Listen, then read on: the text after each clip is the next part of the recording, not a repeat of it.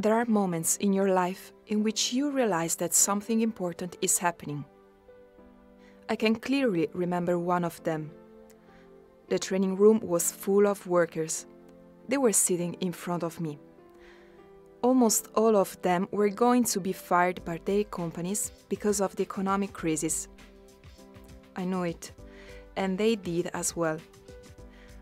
Workers were so angry and worried about their future.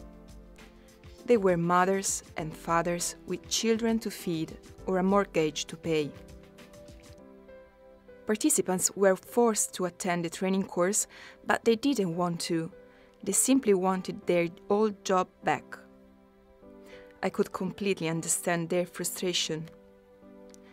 I was the tutor of the training course and I felt myself so uncomfortable with that role. Who was I to tell them how important it was to gain new skills in that bad moment of their life? What could I do for them? Suddenly, the answer was so clear. Workers were looking for someone ready to listen to them. They needed to shout their anger, share it, and go beyond it to find their way again. They needed a friendly and supporting environment where they could tell their personal stories. The world outside the room was too busy to pay attention. I created that space. Suddenly, I was not more standing in front of participants. I was part of the group.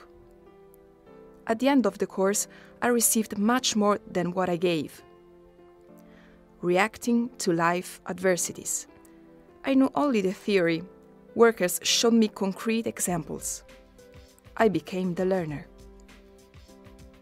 Sometimes work in the education field is not easy.